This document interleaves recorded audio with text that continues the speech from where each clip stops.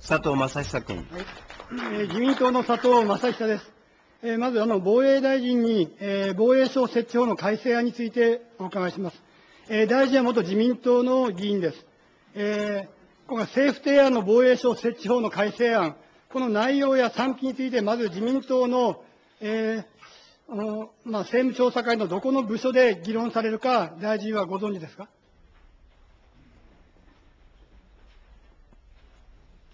田中防衛大臣。えーあの今回の国会で防衛省設置法等の改正法案につきまして、あの提案をさせていただいておるところでございます。あの自由民主党の所属の国会議員で、えーございました。党に大変あのお世話になったところで、えーございます。あの党の中で、自民党の党の中でのあの検討ということでございましたら、あの政務調査会のですね、えー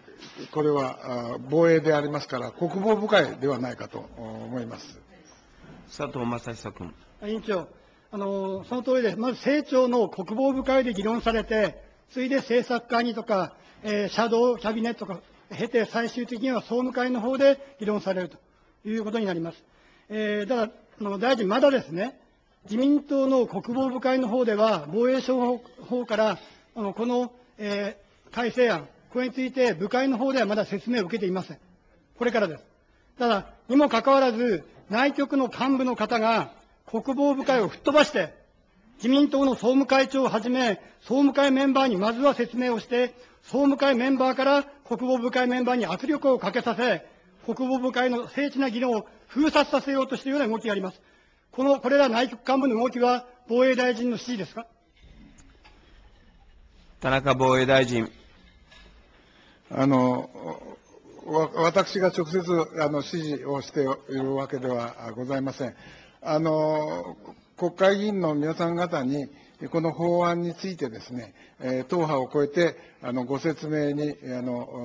お伺っている、あるいは要請がありましたら、あのお役所の者がですね、説明にえー行くと、こういう状況でありますが、今のあのお圧力というようなあーことをですね、あのおまあ、防衛省のおものがですね、えーやってえーいるとは思っておりませんが、佐藤正久君。えー国防部会の方の、まあ、前回の廃案になった経緯もあり、硬いと思ったのか、総務会の方から言ってるんですよ。総務会長から圧力がかかってる。こういうふうに頼まれたんだけど、なんとかなんないか。これ事実ですよ。で、さらには、ね、現在議員ではない元防衛大臣経験者にも内局の幹部が働きかけをして、その方から、あと国防部会関係者に圧力をかけさせている。これも大臣の指示ですか？田中防衛大臣。あの、ちょっと私からですね、指示したことはございません。ただ、あの、大変あの手順がですね、確かに先生お話のように、えーあの、自民党はですね、部会がまず了承しなければ、あの、先に進まないのは私もあの経験から、あの、存じ上げておりますから、あの、そういう、この不備がありましたらですね、あの、私からあの、指導をしてですね、えーそして、あの、誤解を生まないように、えーその対処をいたしたいと思います。佐藤正久君。大臣は知らないと明言、あの今明言されました。これは大きな問題なんですよ。大臣が知らないところで、隊員が政治工作やってるんですよ。普通であれば、ちゃんと国防部会、今までみんなそうやってきましたよ。部会でまずそこで議論するんでしょそれを部会でやる前から、総務会の方に手を回している。これ大臣が知らない。これは完璧な政治工作じゃないですか違いますか、大臣。田中防衛大臣。あの、まあ、政治工作とは思っておりませんが、まあ、各党のですね、あの、皆さん方にも、おあの、おごご説明を申し上げていると。まあ、こういうふうには、あ報告はああありますけれども、あの、自民党のですね、その組織をお知らないまま、あそういう説明を行っておるようでありましたら、まあ、私は、あの、おしっかり手順を踏んで、えそして進めるよう、あの、指導をいたしたいと思います。佐藤正久君。あの知らないわけないですよ。みんな知ってるベテランばっかりですよ。なんでわざと自民党が起こるようなことをわざとやるのか。しかも大臣が知らない。内局の幹部は、これも自衛隊員ですよ。大臣。文民統制の観点から大臣が知らないところで、自衛隊員が政治工作をやっている。政治家に圧力をかけている。うちの総務会長とか、自分から求めたわけじゃないんですよ。向こうから勝手に来た。おかしくないですか？文民統制上問題じゃないですか、これは。田中防衛大臣。あの、そのような、あこの手順をですね、え踏まなかったということは、あの、お大変、あの、お批判を招いてもいけないと思います。ああの、お防衛省としてですね、えーあの、おこの法案に対する熱意は、あの、持って、えー接触をさせていただいておるようでありますけれども、僕は誤解を生むようなことがございましたら、あの、指導をしていきたいと思います。佐藤正久君。大臣が誤解じゃなくて明らかに意図で、意図的にやってるんですよ。で、説得してくださいということまで言ってるんですよ。大臣が知らないところで自衛隊員が、ね、この国会議員の方をうろうろしてる。求めに応じたら分かりますよ。ある意図を持って、政治家の方に働きをかけしてる。これは文民統制の観点からどう思いますか？田中防衛大臣。あの、お確かにですね、あの、お制服組も、あるいはあ内局のお皆さん方も、お自衛、えー事務官として、あの、働いてえーおるわけでございますので、えーその辺は、あの、おおシビリアンコントロールを心得てですね、えー対処をしていくことが必要だと思いますので、あの、不備がありましたら、あの、えー指導をしていきたいと思います。佐藤正久君。指導で済みますか？恐ろしい話だと思いませんか？大臣が知らないところで、自衛隊員が政治家に働きかけをしてるんですよ。これは、状態なんですか大臣？おかしいと思いませんか？事務官の方も自衛隊員ですよ。大臣の文民統制のもとで、コントロールされる隊員なんですよ。大臣が知らないって明言した。それそれは、みんなそれは文民統制ってまさに政治の軍手当優先でしょ？自衛隊優先でしょ？それが大臣が知らないところで、我々の政治の議論、これをねじ曲げようとしてるんですよ。今までであれば、ちゃんと部会、部会の方に説明をして、そこで議論した後、段階に応じて、それ説明対象も変わるでしょう。処置をする。どういう処置をしますか？田中防衛大臣。えーあの、先ほどから申し上げてますように、あの、そういう不備があって、そしてまた、党の皆さん方にご迷惑をおかけしているんであれば、あの、改めるようにですね、私から強く指導するということで、ご理解をいただきたいと思います。あの、先生からご指摘がございましたけれども、私もあの、各党にですね、えーあの、ご説明を、法案はしているかということをあの聞きましたら、まあ、そうあの当然その、やっております。ただ、あの、おそれぞれのですね、えー党の事情もあるわけでありますから、まあ、そういう面では、あの、お皆さん方にご迷惑をおかけしておるんであれば、あの、おしっかりと手順を踏んでえーやっていくということを強く指導したいと思っております。佐藤正久君。強く指導しただけで済みますか？そんないい加減なんだ、文民統制って。じゃあ、これからまだ同じようなことをやっても強く指導して終わりですか？大臣の知らないところで政治家に働きかけをやってる。これ自衛隊員としてやっていいことですか？どう思います？田中防衛大臣。あの、政治家に働きかけてるというのはちょっとですね、私はあのピンとこないんでありますが、あの、法案も閣議決定をおいたしまして、えーそしてまたあの、おまんべんなくですね、先生方に、あの、ご説明を申し上げると。まあ、こういうことで、あの、ご説明は始まったわけでありますが、まあ、確かにあの、先生ご指摘のようにですね、あの、手順を踏んでおらなかったと。まあ、こういうご指摘でありますし、まあ、そういうことが、これからあってはいけないということで、強くですね、私からあの指導をして、そしてあの法案の説明をお各お議員の皆さん方に、えーまんべんなくご説明がしていくというような方針で臨んできているわけでありますので、ご理解いただきたいと思います。佐藤正久君。大臣、説明だけじゃなく、お願いもしてるんですよ。これについてはどう思います？田中防衛大臣。あの、具体的にお願いをしたというこことはですね、えー私は、あの、お報告は受けておりません。あくまでも、あの、おこの任務はですね、えーこの法案をお的確にご理解いただくためにですね、あの、お省内の者がですね、ご説明に伺っておるということで、えあの、来ておりますので、あの、そのようなあことはないと思っております。佐藤正久委員君。長、大臣ね、私も自衛隊出身者が分かりますけども、こういうのって大体紙にまとめてるんですよ。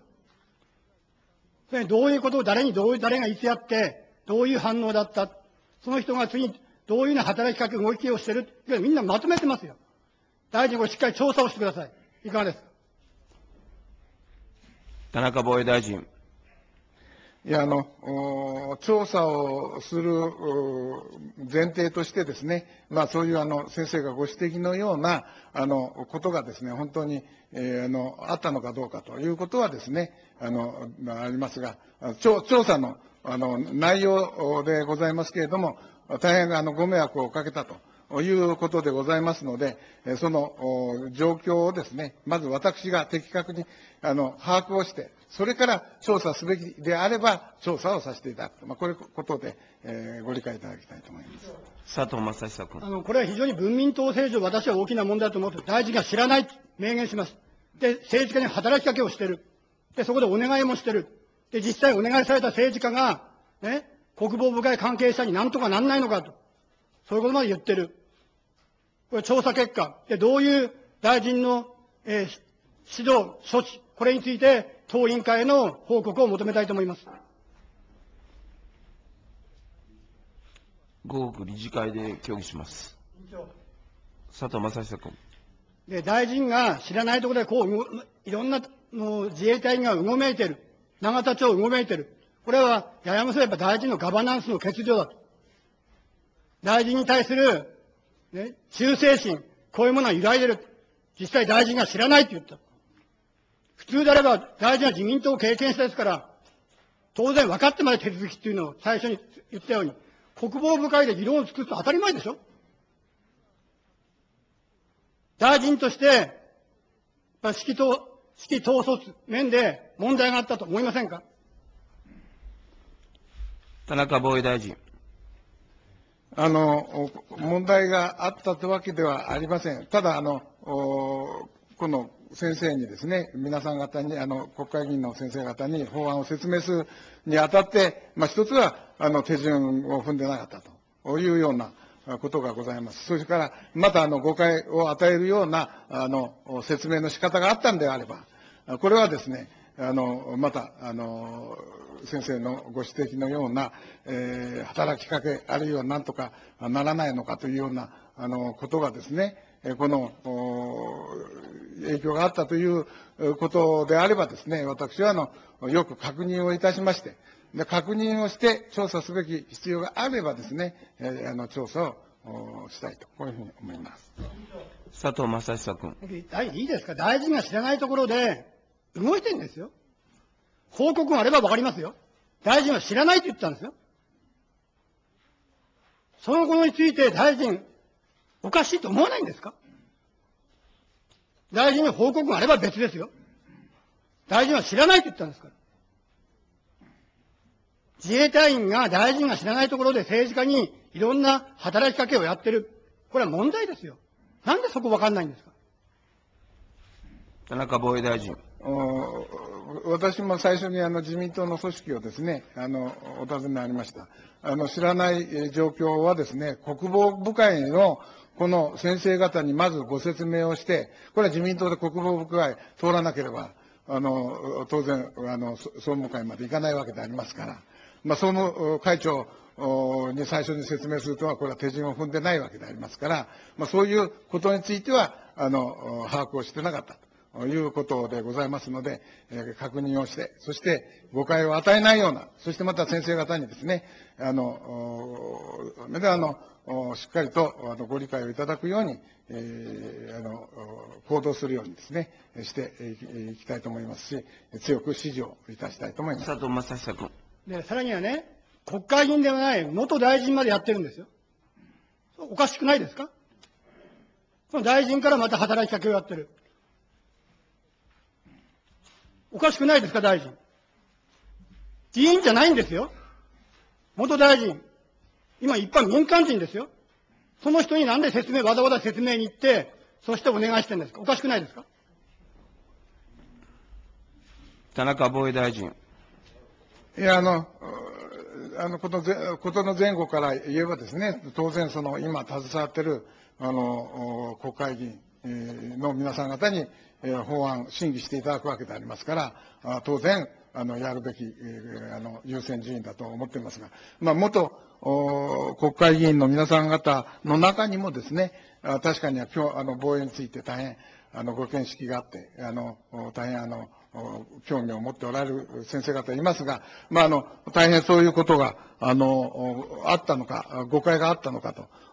働きかけをしたのかと、こういうことについては、私自身がですね、あのお確認をして、えーまたあのおしかるべきことがですね、対応があればあのお考えたいと思います。佐藤正久君。しっかり調べてください。これ大きな問題ですよ。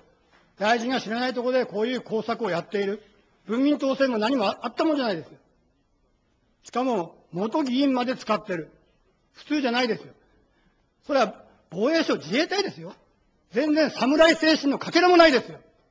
こんなことやってる。なんで正々堂々と説明しきらないんですかこれ強く指摘をして、えーその、えー委員会での、理事会での協議に臨みたいと思います。えー次の質問に移ります。弾道ミサイル防衛について伺います。まず大、防衛大臣、えー22年度末までに浜松の教育隊を含めて16個の、えー FU を整備しましたが、今国会では沖縄の、えー第5校舎軍ですかね、この1個校舎隊を整備するにとどめています。これ、なぜ今回、中期間で1個だけなんでしょうか？他の校舎軍は2個、最低でも2個の、ね、大体4個、4個の FU をみんな整備してるんですよ。なぜ沖縄だけ、それを1個だけにとどめたんでしょうか？この中期間で。なぜでしょうか？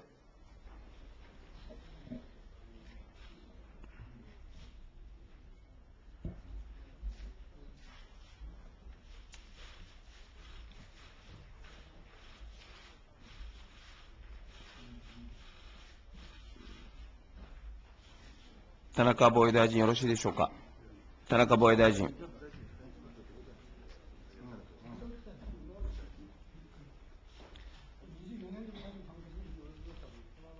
田中防衛大臣、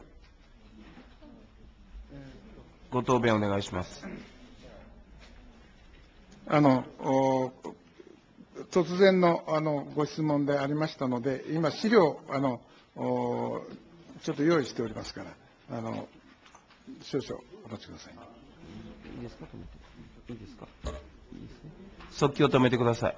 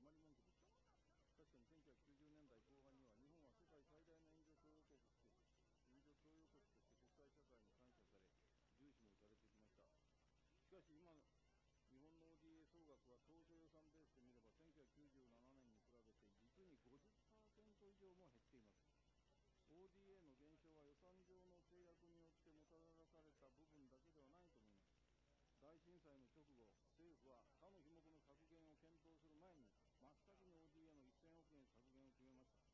野党の反対で減額幅は半分になったものの、まず ODA 削減から始めるという姿勢には落胆いたしました。我々は本当に国際社会の一員として義務を果たそうとしているのでしょうか。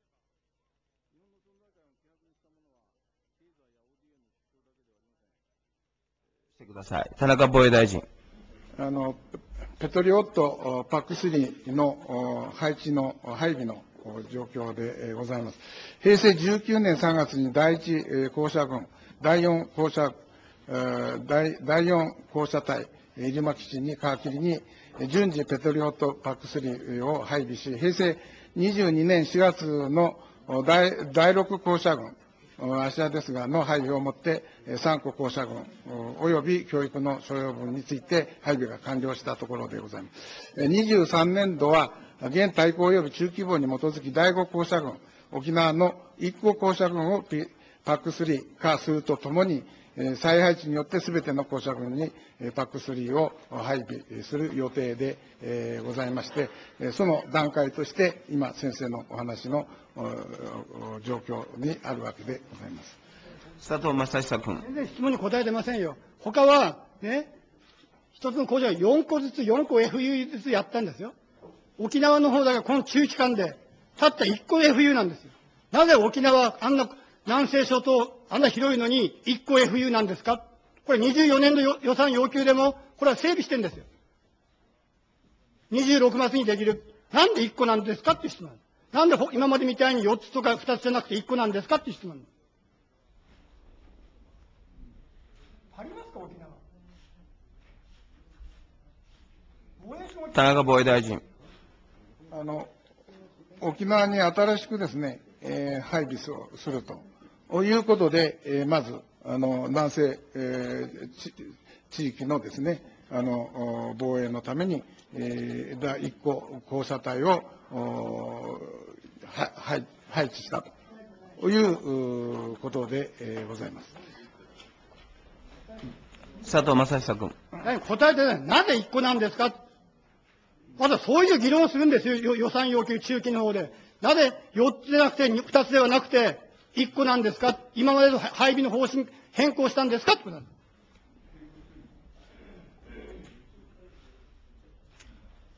渡辺防衛副大臣。あの、前政権下のですね、一六大綱の時に、えーこれは、あそのようにえー決まったということでですね、それに基づいて、まあ、予算措置をされている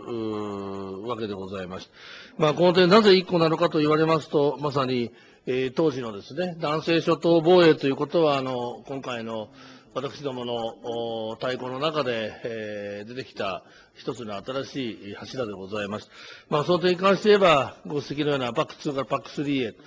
えーそしてまた、南西諸島防衛ということをですね、我々、えー対抗に基づいて、えー考えると、えー今後、予算措置をして、えー対応したいと、まあ、そのように考えているところでございます。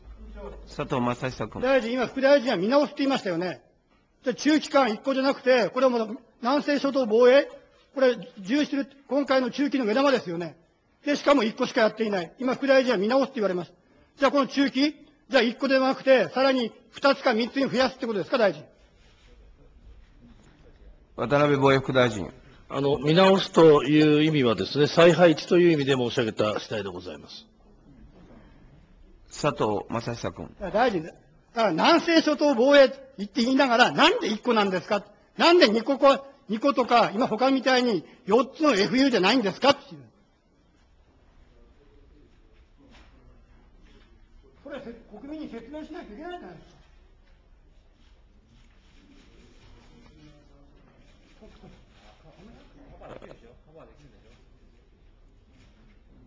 そき止めますか？そき止めますか？止めてください。答弁、まだ無理ですか？それでは即興止めてください。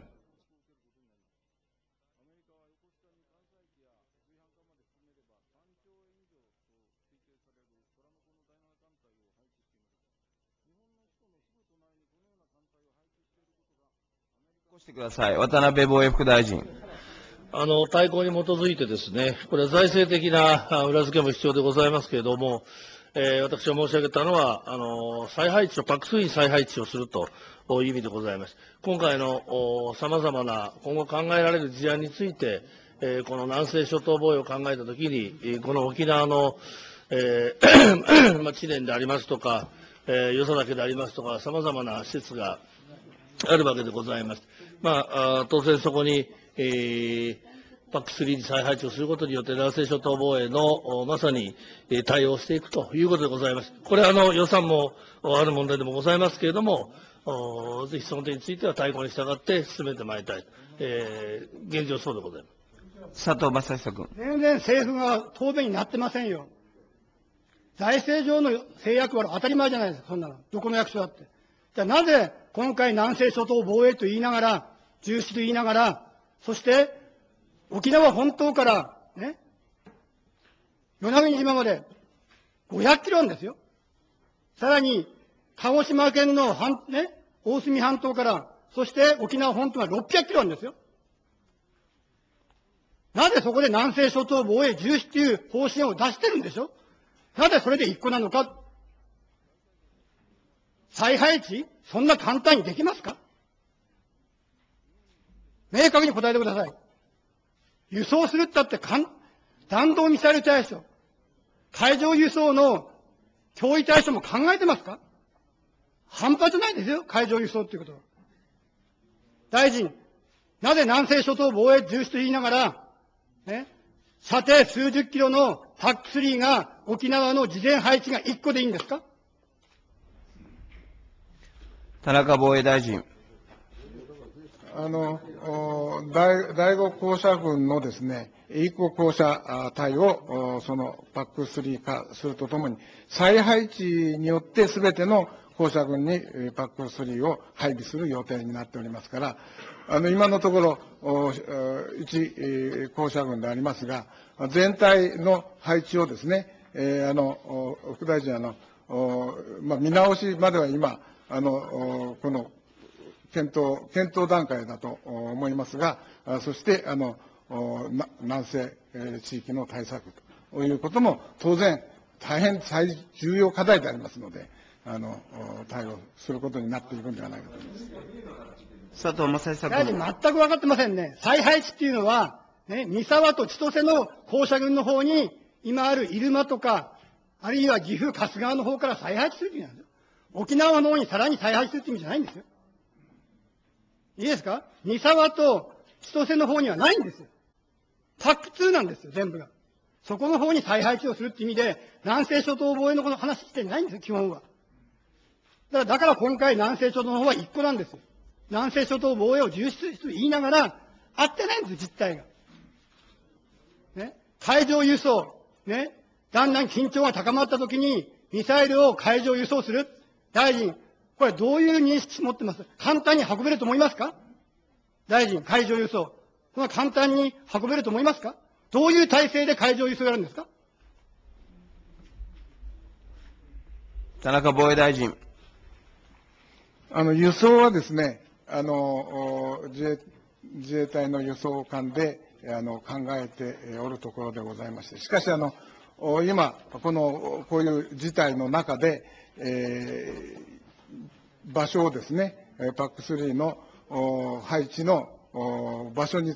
つきましては、あの、省内で、え意見交換、そしてまた、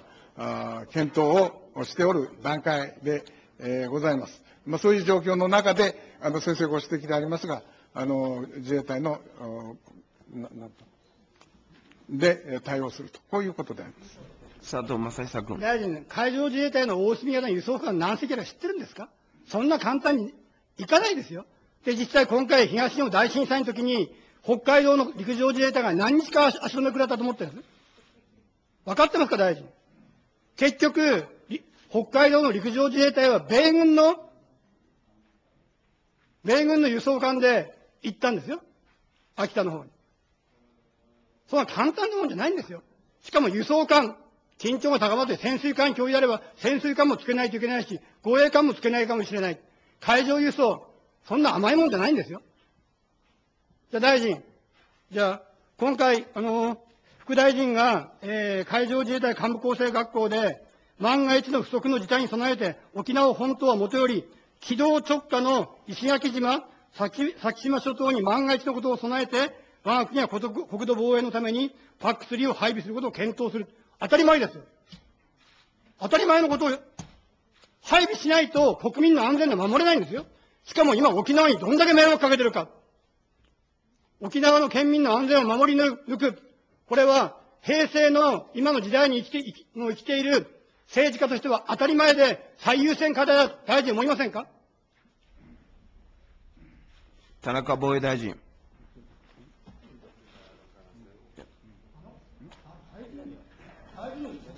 大臣、あの、検討中のことで、えーございます。まあ、あの、副大臣も手を挙げておりますが、まあ、一般論としてですね、あの、発言をしたと、こういうことで聞いておりますが、しかし、あの、当然ですね、私は、あの、沖縄、あるいは、石垣島の配備というものは、あの、当然誰でも、あの、必要であると。いうようなあ認識には立つと思うんですね。今回の状況から言いますと。ですから、まあそういうもの、そういうことにつきましては、今検討中でありますけれども、その、あの、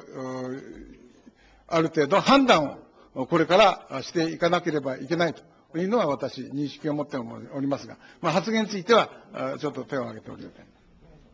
佐藤正久君。大臣まで悪いなんか言ってないですよ。当たり前だったんですよ。沖縄県民の命を守る、当たり前じゃないですか。大臣も今日初心で国民の生命財を守り抜くって言った、言ったばっかりですよ。守らないといけないんですよ。万が一のことに備えて。それが防衛大臣の任務ですよ。つまりいい加減なことではなくて、当たり前のこと言ってんですから、守るのは当たり前なんです。万が一のことに備えて。2009年も同じでした。万が一のことに備えて、体制取ったんですよ、防衛省が。イージス艦や PAC3 使いながら、米軍とも連携しながら、体制を取るって当たり前じゃないですか。しかも南西諸島を重視する、これからいろいろ近隣食の関係でもある。そういう時に、やっぱ事前配置として本当に PAC3 1個 FU でいいのかって言ってるんですよ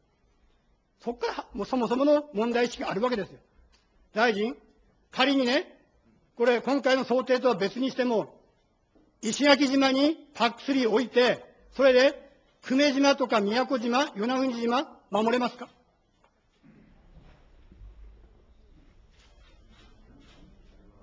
渡辺防衛副大臣。あのまあ、先生はもうご存知だと思いますけれども、えー例えばその PAC3 の射程のことを考えればですね、えーまあ、どこを飛ぶかによってですね、その撃ち漏らした2段目の、2回目、2つ目のですね、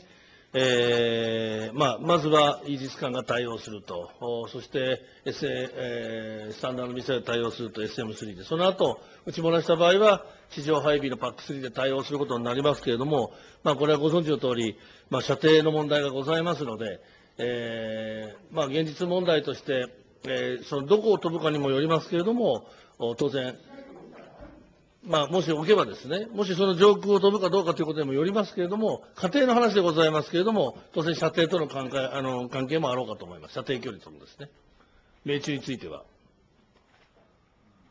佐藤正久君。大臣、しっかり答える、ね今回想定を外して一般論として、ね、石垣島に PAC3 を配した場合、その射程上、性能上、久米島とか宮古島、あるいは与那国島が、その射程圏守れる範囲に入ってますか？渡辺防衛副大臣。あの、久米島やですね、宮古島となった場合には、あの、距離を、島と島の間の距離を考えればですね、射程が数十キロでありますから、えー守ることはなかなか困難かなというふうに、石垣島を起点とした場合には、そのように考えられます。佐藤正久君。だからそうなんですよ。いいですか、大臣。南西諸島防衛って言った場合、ね、なんか起きてから廃止するんではなくて、やっぱ起きる前に廃止しないとダメな兵器なんですよ、これは。そうでしょ？パク3の場合は。で、それは輸送しないといけないんですよ。本州から輸送するのと、沖縄本島が輸送するの違うでしょ？しかも、今言った射程圏を考えたら、やっぱそれなりに、あの、南西諸島、非常に頭が痛い問題ですよ。石垣島に置いたって、宮古島や久米島の住民を守ることができない。そしてみんな不安になっちゃうわけです。与那国島もそうでしょ大臣は万全の体制を取ると言った。ちょっと発射角度がずれただけで、もう2000キロ先ですから、ものすごく方位角がずれますよ。場合によっては沖縄本島に行くかもしれない。そういうことを考えながら配置をしないといけないんです。大臣、しっかりと、今回、やっぱ最低でも 16FU のうち半分ぐらいは持ってこないと埋まんないでしょ？最低でも。大臣どう思いますか？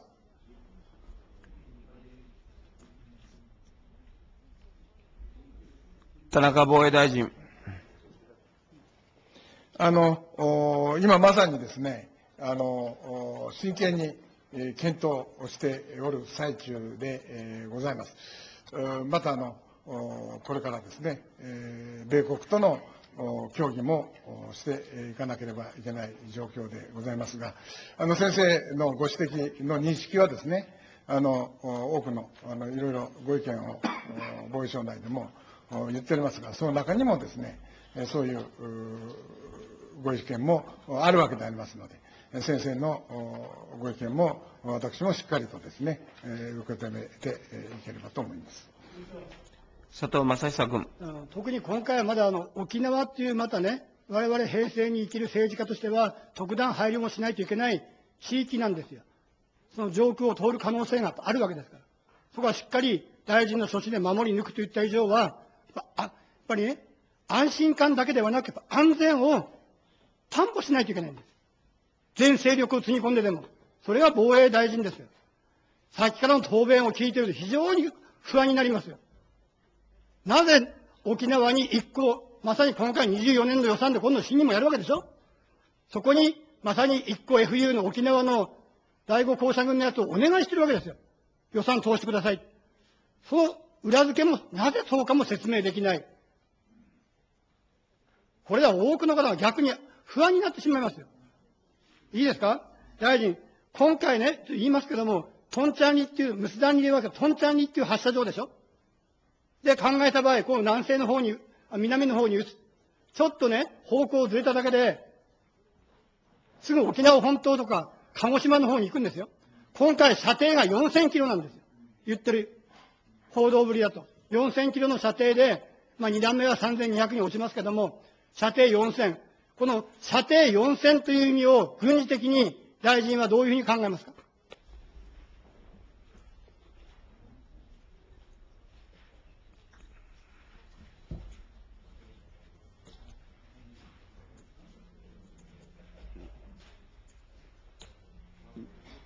大臣よろしいでしょうか？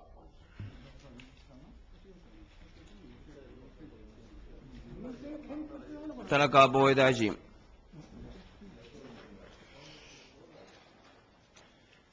えー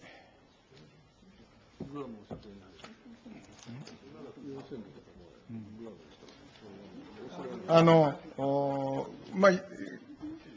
現在ですね、あの、お今、北朝鮮がいわゆる地球観測衛星を発射すると、まあ、こういうことで、えー今の情報をですね、えー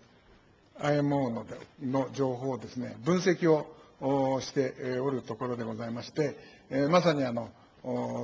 その、その能力がですね、そのまま、あの、あるのか、今言われたように4000のものなのかどうかと。まあ、これもですね、今、あの、情報を中心として、え確認、えそしてまた分析をしておるところでありまして、えまず、あの、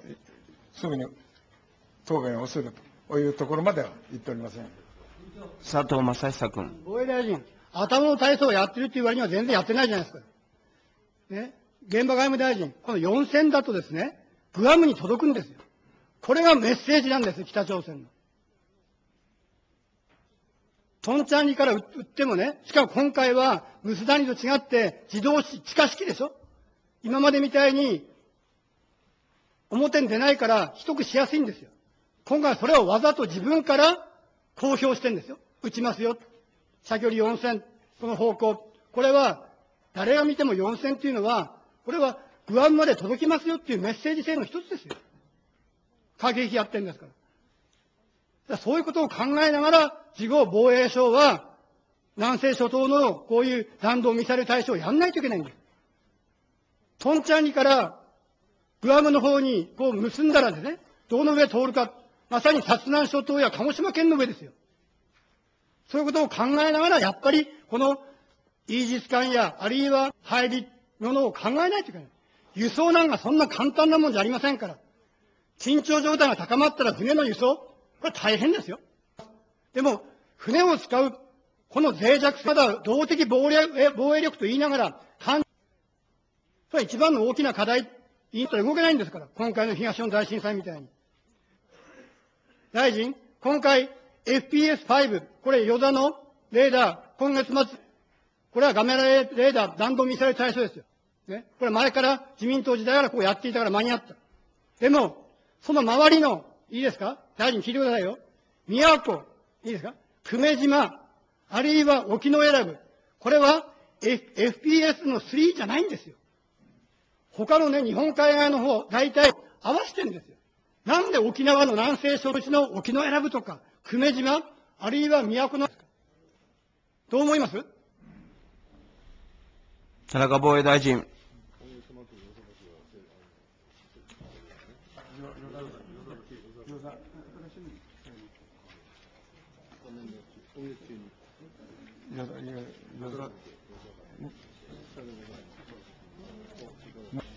えー23年度のですね、えー完了が予定をえーおります。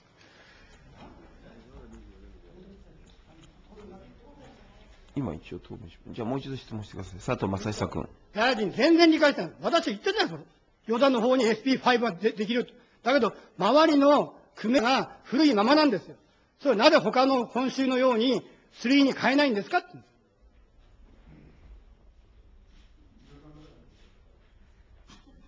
田中防衛大臣。あの、のお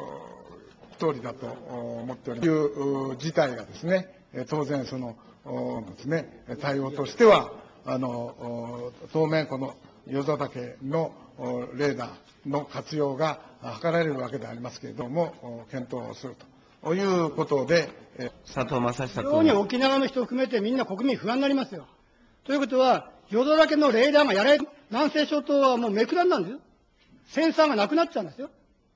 固定式のやつは。そうでしょ？他はそういうことも考えながら、あの、対にして、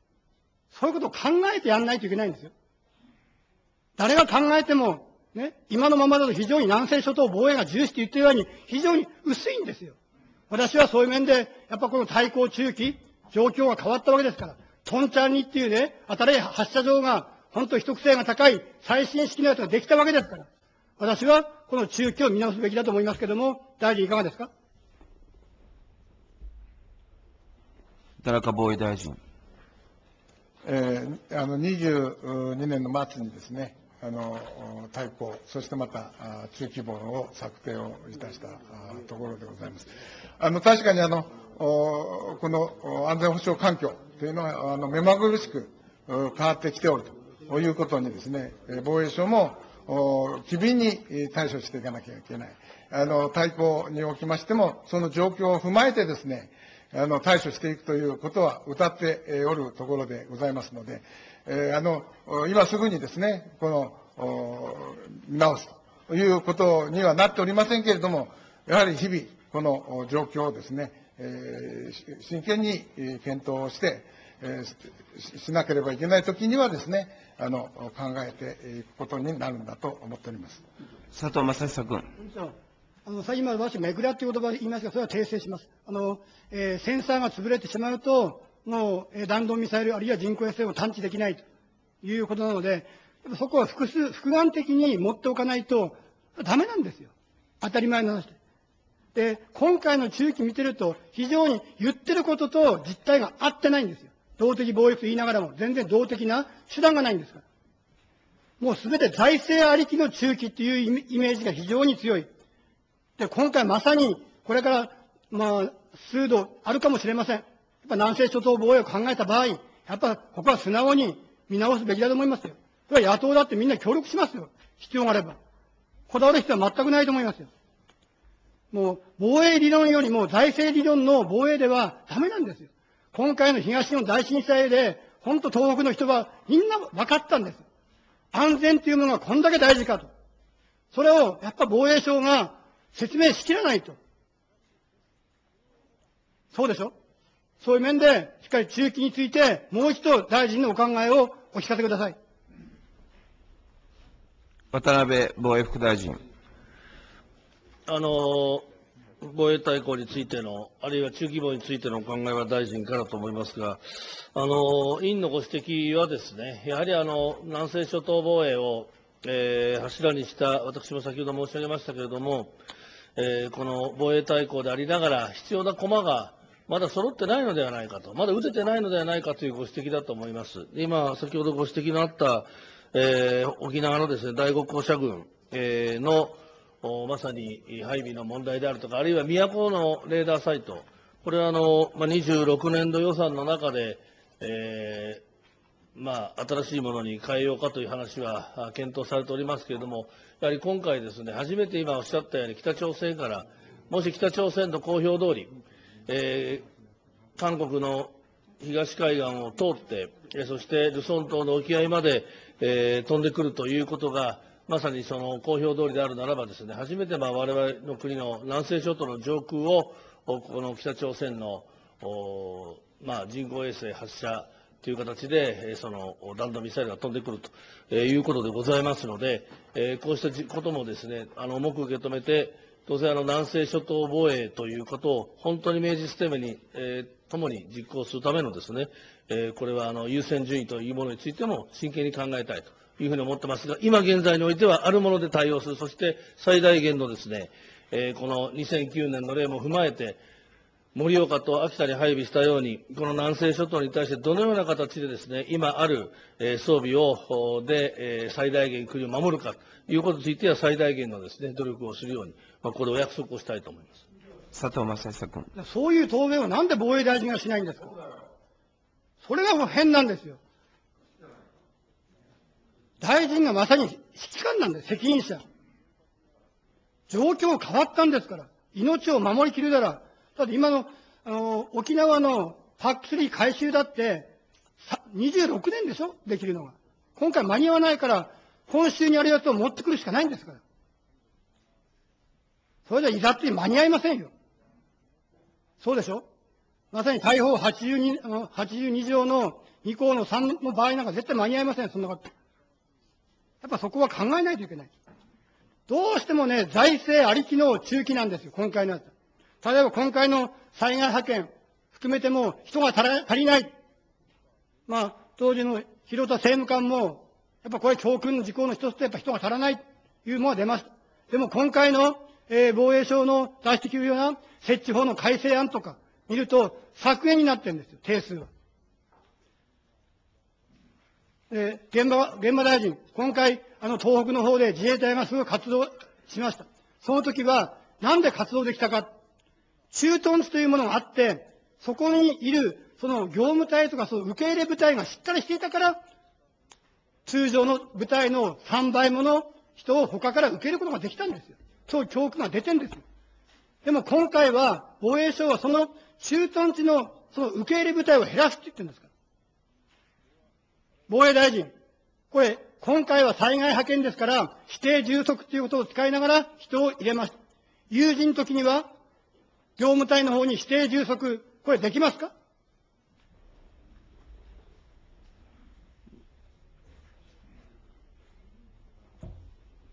田中防衛大臣。あの、大変ですね、あの、定員の問題についても、私は、あの、認識は共通をしてえーおると思います。で、えーご存知の通り、陸上自衛隊については、効率化、合理化を徹底しつつ、即応性、機動性を一層向上させるということで、今、第一線にはですね、あの、それでは、あの、人員確保をしてですね、そしてまた熟練したものを配置するということで対応をあのしてきておるわけでありますけれども、まあ、それだけではですね、あの維持できないいうこともですね、あの、考えられるわけでありますので、そういう面では、あの、その、その状況を、あの、しっかりと見つつですね、私はこの、人人員確保の問題については、あの、真剣にですね、あの、検証して、そして取り組みたいと、こういうふうに思っています。佐藤正久君。全然足らないんですよ。今、一線、第一線の方を増やすと言って、後方から持っていくんですよ。後方がアウトソーシング、これ平時はいいかもしれません。有事の時にアウトソーシングが機能しますか？するわけないじゃないですか。そこを考えるのが防衛省でしょ。いざっていう時に動けるのが防衛省なんですよ。そのためにみんな日頃から訓練をしたり、準備を、ものの準備してるんですよ。後方部隊、受け入れ部隊を減らして前線の方に持っていく。これは平時はいい訓練ができるかもしれません、前のが。でもいざって無理でしょで、今回は災害派遣だから、まだ夜は少し休めたかもしれない。実際有事になったら中、夜間の方が一番の戦闘ですから。夜間が中間化してるんですから、今。米軍のようにシフトを組まないといけない。シフト組めますか、今。真面目に考えてますか、そういうこと。それでどんどん人を減らしていく。それはありえないと思います。大臣の今の選挙区の新潟、これも普通科連帯2個ありますよね。1000人規模から両方とも500人規模です。半約半分になってる。でも任務はどんどん災害派遣から国際貢献から、あるいは当然大事な日本海に面してますから、いろんな防衛問題もある。大臣、やっぱここ本当にもう一回、今言った対抗中期っていうものをもう一回見直さないと、本当に、この上っ面だけの本当に機能しない自衛隊になりかねない。どう思いますか？田中防衛大臣。あの、先生が、あの、お話があるように、現実にですね、この東日本大震災という、大変なあの、お地震に見舞われたわけでございまして、えー10万人体制ということで自衛隊は対応してえーきたわけでありますけれども、確かにですね、あの、お私もあの新潟で、えー経験をいたしました。自衛隊の皆さん方がですね、あの、日々、えー毎日ですね、あの、対応していただいたことによって、復旧復興がなされたわけでありますから、まあ、そういう面では、あの、国内的な問題についてもあります。そしてまたこれから、あ本務、任務のであります、自衛隊本部のですね、我が国を防衛するという、この問題についてもですね、まあ、周辺諸国の不安な状況もあるわけでありますから、私は当然あの、全然見直ししないと言っているわけではありません。当然太鼓の中にはですね、状況の変化があればですね、これはあの見直すこともやぶさかではないということを謳っているわけでありますから、常々緊張感を持ってですね、内外の情勢に自衛隊がいかにその対応していくか、あるいはそれを充実させていくかと。お自衛自衛力のお強化をですね、えーやっていかなきゃいけない時期はいつかと、まあ、いうこともですね、えーしっかりと把握をして、あの、お対応していきたいと思います。佐藤正久君。見直さないと、もう破綻しますよ、今のままだと。もう現場にみんな負担がいってる。しかもやることだけ増えてる。で、今回のパック3、こう、て本州の方が展開しますよね。あの、もしも大臣がそう決めれば。でもその展開した部隊、今までまともに実弾射撃やってないんですよ。今まで何回実弾射撃をやったか。これは、訓練の射撃まで一回もやってないんですよ。研究関係、そういうための射撃、2回やっただけですよ。で、これから展開する部隊は、1回もまともな連成のための射撃をしないまま実戦配備なんです。これ本当に、隊員が自信を持って、国民沖縄の人、守り抜く、できますか？シミュレーションだけではなく、やっぱりヒューマンエラーっていうものがあるんですよ。実弾射撃も違いますから。そういう部分の予算もやっぱ取らないといけないんです。どんどんどんどんそういう面で、実態と、ね、紙の上の作業っていう部分がどんどん乖離してる。実際これ本当に難しい射撃ですよね、パックスイ向こうが来る弾頭を弾頭で撃ち落とすわけですから。まだ今まで2回しかやってない。射撃を。それは本当に実の実際実任務ですから。そういう部分についても、やっぱり今回、あの、計画の見直しをしながら、やっぱり一番大事な最初の蓋然性が高い分野については、もっと予算を充当しながら、実弾射撃、これをやっぱり、これから大臣のやっぱりリーダーシップで計画すべきだと思いますけど、いかがでしょうか？田中防衛大臣。先生のご指摘だと思います。私、あの、この委員会の委員長の時に、入間にですね、パック3、あの、視察を、私がだけで行きました。あの、確かにあの、この校舎軍の列を組んでですね、えーやっていただいたわけでありますが、まあ、その時に、えーどどういう、この実、実、その、練習をしたんだというお話を申し上げたら、まあ、アメリカで、あの、実践練習をすると。まあ、いて、いてこられましたかと言ったら、その隊長は、まだ経験がございませんでしたので、まあ、当時私もあの、防衛省に言って、早くアメリカに行ってですね、あの、訓練をしてもらいたいと。まあ、あの、それが通じたのか、1年後にはですね、あの、隊長は、あの、い言ってこられたようなことを今回、あの、聞きましたけれども、まあ、そういう面で、あの、私は、あの、本当に実践のですね、対応というのはあ足りないというふうに思っていますし、まあ、私もこういう役につきました。あのさらなるですね、あの、お問題意識を持って、え先生の、おと共通する問題点だと思いますので、努力をしていければと思っています。佐藤正久君。努力じゃなくて、大臣が決めればいけるんですよ。本当に一回もじ撃ったことがない人間が国民の命を守るために、この発射ボタンを押す。どういうことか分かりますか、大臣。ものすごいプレッシャー。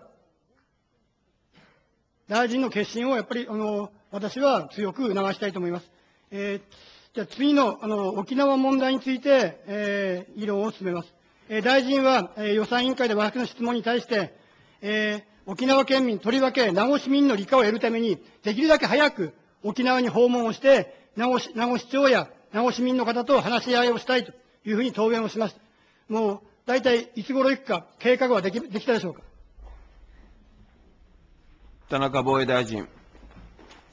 あの、第、あの、ちょっと先方のことがありますから、受け入れの問題もありますが、あの、できるだけ今月ですね、中には、あの、なんとか、あの、沖縄にえー再度、お訪問をいて、いたしたいということが一つございますし、また、名護おのお皆さん方ともですね、えー市長をはじめお目にかかりたいというふうに、えー心がけておりますし、えーまあ、あの、先方のあることですから、あの、私は、あの、今月中に、えー出かけたいということで、えー事務方に、えー、内々ですね、話をしておるところであります。佐藤正久君。ぜひとも言ってください。で、私も行きましたけども、やっぱり、名護の市民、賛成派だけではなく、一番では反対派の方なんですよ。反対派の方をいかに説得するか、説明するか、これが大事だと思います。反対派の方をもう一応会うというお考えはありますか？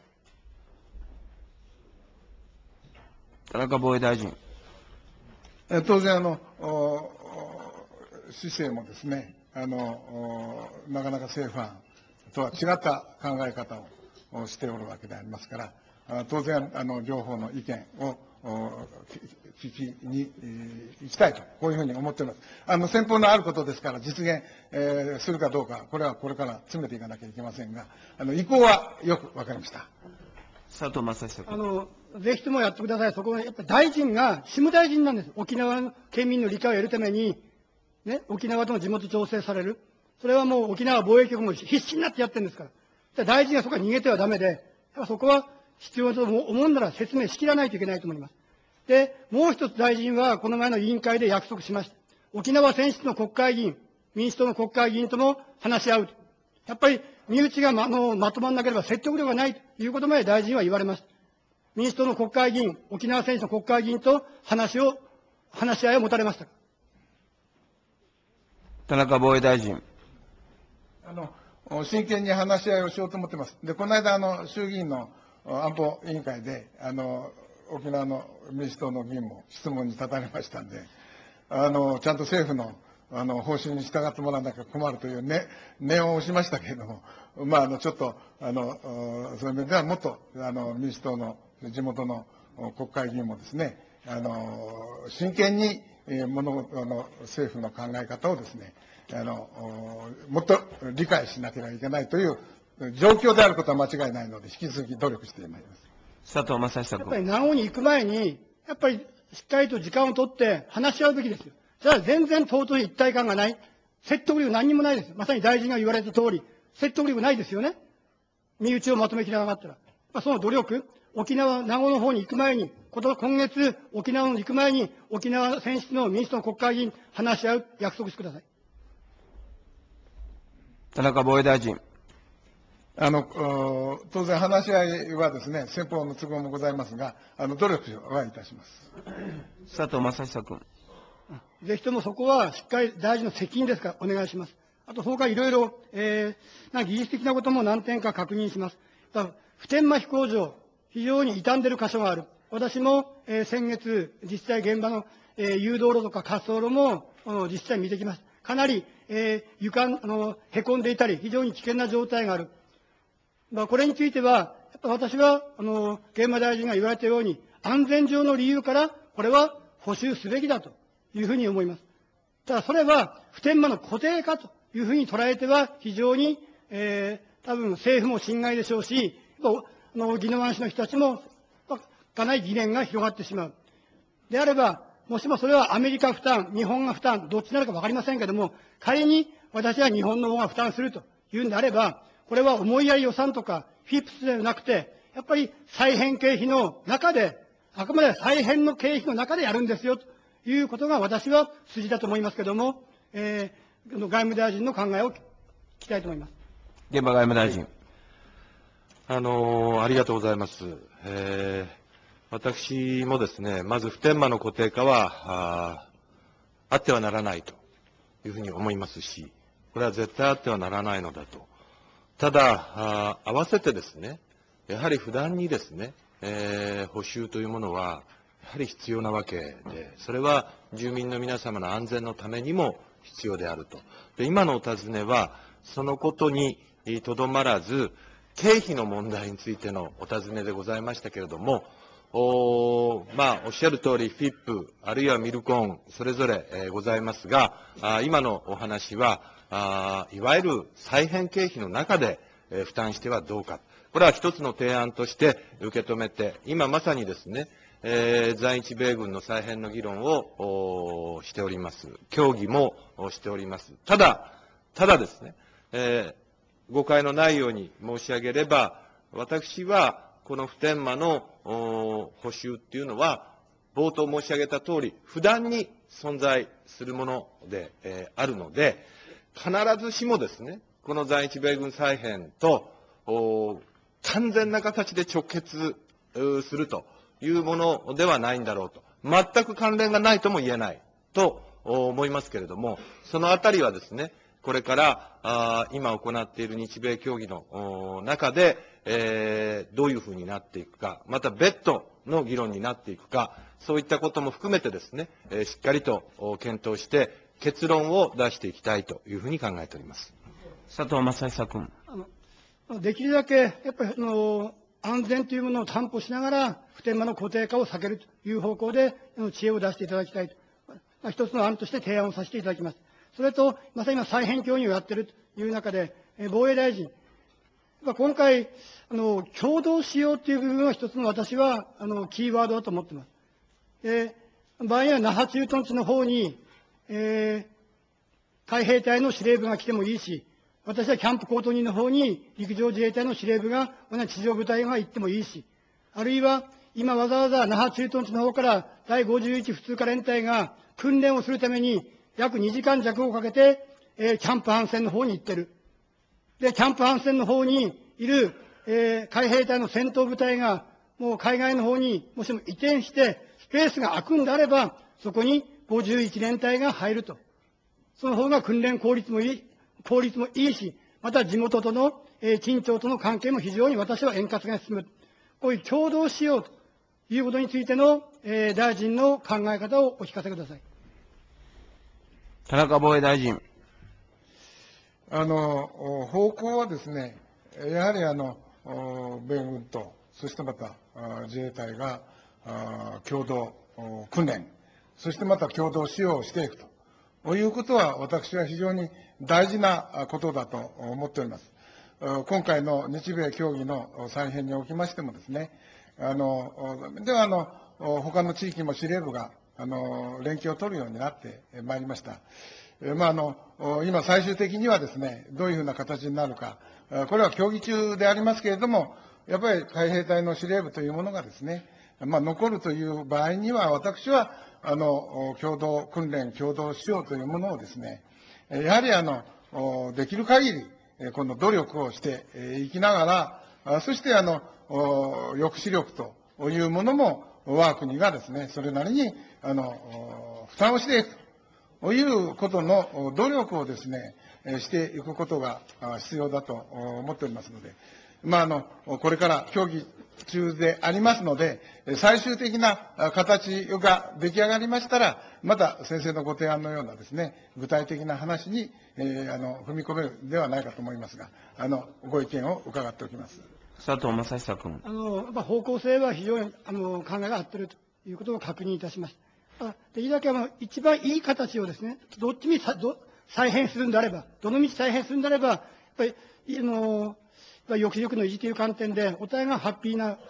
関係を作るように努力をしていただきたいと思います。その中で、やっぱ一つの懸案事項はやっぱグアム協定だと思うんですよ。どうしても。これは今までの自民党時代に、この協定を結びました。この前提が、どうしても、えー司令部や広報要員と8000人の、えー海兵隊員とその家族9000人がグアムに行くということで、その負担を一部、日本政府が行いましょうというものですけども、その前提が変わってしまう。で、これが人数が減ったり、あるいは、その、えー家族ではなくて、戦闘部隊が中心になってしまったら家族用住宅とか、あるいは病院とか幼稚園とか、そういうものは、やっぱ前提が変わるわけですから。そそれで、やっぱりそこは、あの当然、グアム協定は見直しないといけないと。そういうふうに思いますし。ただ、かといって、あの、その、どんだけ減らすかという部分については、また新たなニーズも出るでしょうから、そういうことをいろいろ考えながら、私は、あの、やるべきだと思います。ただ、だからといって、あのグアムグアム協定見直さないというわけにはいかないと思いますけれども、そこは正々堂々といろいろ話し合いながら、グアム協定、いい形で見直すということが私は大事だと思いますけれども、えー外務大臣の考え方をお聞かせ願います。現場外務大臣。はい、あのまず、えー一つはですね、えー現在は現行のグアム協定が当然有効であるということでございます。結論を得た後にですね、えー見直す、見直さないということに当然なってくるということだろうというふうに、思います。で、その際にですね、あの、様々な、あ今、佐藤委員から、まあ、示唆的な、あ話がああったというふうにえー思ってえーいます。あのこのいわゆる特に経費の問題っていうのは、私はあ特にその部隊の移転先、あるいは人数、配置、そういったさまざまな議論を行っていく中でですね、最終的に経費の負担割合というものを決めていくべきだというふうに思ってるんです。つまりは、それが、まあ、短くしてくれっていうので短くしますが、あのそれが我が国の安全保障にどのくらい資するのか、あるいはアジア太平洋全体の抑止力にどのくらい資するのか、私はいずれにしてもですね、えーバランスの取れた統合運用というのが、あーこれからのですね、えー在日米軍再編にあたっては、あ極めて大切になるというふうに考えております。佐藤正久君。ただ、あの、両大臣ともね、この、この経費の話含めた部分、これは、っぱり日米首脳会談でやるにはやっぱ品がないと思いますよ。日米首脳会談が5月に予定されるなら、その前に、やっぱり両大大臣クラスで、この金の部分は決着させるというぐらいのやっぱり気概がないとですね、あまりにも、これは、あの、一国の首脳レベルでこんな話をするっていうのは、非常に重たい問題ですけども、私は良くないと思ってます。日米同盟にとっても。その前に、両大臣レベルで、えーこれは決着をするというぐらいの、あの、覚悟があったらお願いします。現場外務大臣。あの、今のおご提案、あの、受け止めたいというふうに思います。佐藤正久君。えーそれとあと、えー今回の普天間飛行場の移設と海兵隊の海外移転、あるいは嘉手納以南の土地の返還、これを切り離すということを発表されました。ただどうしても物の言い方が、特に防衛省の方の物の言い方がちょっと曖昧なんですよ。だから今回、海外の海兵隊の海外移転の部分が大体決着をしたら、すぐにでも嘉手納以南の土地が帰ってくるような錯覚に陥っている人が多い。な、この両大臣の所信を見てもそうなんです。違うんですよ。同じこと言っていいなら。外務省の方の大臣の、現場大臣の方は、在沖海兵隊のグアム移転、及びその結果、生ずる嘉手納以南の土地の返還を普天間と切り離すと。海兵隊の海外移転の結果、これがいかないと、嘉手納以南の土地は返還いかないって書いてあるんです。田中大臣はそう書いてないんですよ。その結果、生ずなくて、パンパンと羅列してるんですよ。だから勘違いしやすい。防衛大臣、これは防衛大臣の所掌です。土地の返還分については。大体、あの、早くてどのぐらいのタイムスパンで、この5つのうちの1個でも、沖縄方に返還できるという、あの、まあ、時計、タイムスパンをお持ちでしょうか？田中防衛大臣。あの、おまあ、交渉中でございますから、あの、ちょっと踏み込んでお話をするわけにはいきません。ただ、あの、考え方としてはですね、もう今回切り離しをしました。そしてもう、あの、沖縄のですね、目に見える、この負担軽減ということが大きなあの柱になってますから、その中で、確かにですね、あの、返還がですね、難しいことも事実でありますが、しかし早くですね、そして実現できるものは実現すると。いうことは、なんとかあの成果を上げたいということで、今、あの、防衛省といたしましては、担当のものにですね、まあ、あの、私も真剣に、なんとかこの、やはり、あの、成果を上げるように、その、お接種してもらいたいということは、あの、指示をいたしております。そういう中で、大変あの、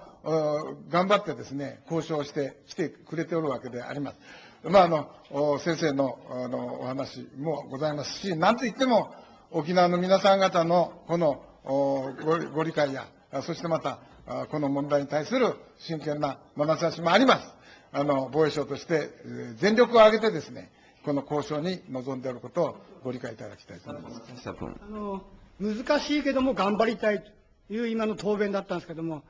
まあ全然具体性がないんです。もう少し、やっぱ具体性を持って、まずキャンプズキランであれば、ズキランにいる海兵隊が、海岸に移転しなければ帰ってこないわけですよ。それにどのぐらいかかるのか。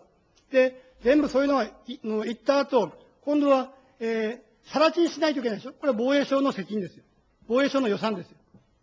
じゃあ、さら地にするのにどのぐらいかかるんですか？一部だけ返してもらったって、後治療できませんから。返すなら最低でもキャンプごとですよ。そうでしょ？じゃあ、その時に、えー、土地の汚染の問題もあるかもしれない。そういうものを全部やる。そんな5年や6年じゃ無理ですよ。そういうことを、やっぱり大臣は、こういう課題があるけど、こういうのをね、一つ一つ、こういう方向で早くやりたいと言わなければ、今みたいな危ういなことで誰も沖縄で信用しませんよ。全く説得力がない。土地を返すって半端じゃないですよ。あの田中防衛大臣今先生がお話があった話のようなことはですね、私もここまで出かかっておりますけれども、しかし、あの、おその一部はですね、あの、お当然ですね、あの、ちゃんと、あの、お交渉をしておるものにですね、えーこの、なんとか努力をして、ということで、えーし指示をしておることは、あの、間違いないわけでありますが、まあ今、あ何を指示しておるかということは、あちょっとつまびらかにできませんが、あ思いは一緒でございます。あの、私もあの、しっかり、あの、指導力を発揮して、え交渉に当たってもらうようにしております。佐藤正久君。いや現場外務大臣。はい。あのー確かにですね、あの私も意識して、えーグアム移転等行われた、その結果として生ずるっていう表現をあえてしているんですね。あの確かに例えばグアムに移転をするときに、例えば、あ移転したら移転したでそ、そこでまた環境影響評価が必要だ。その前にですね、そういうことが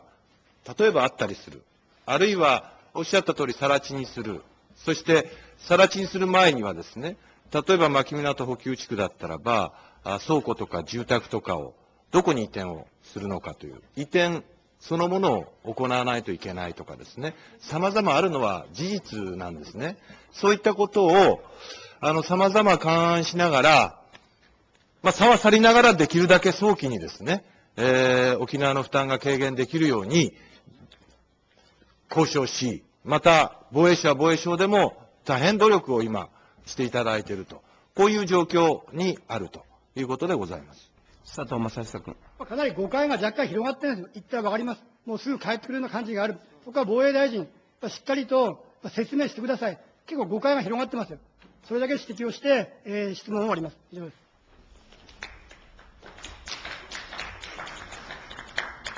稲口邦子君。委員長。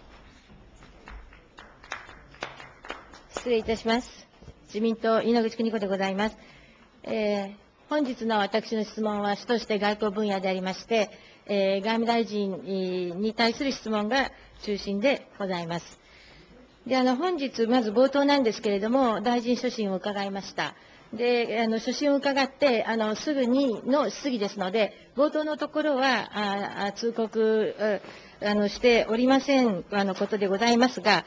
えー大臣は所信の最後のところで、日本的な価値ということを述べておられます。えー鍵括弧付きでございます。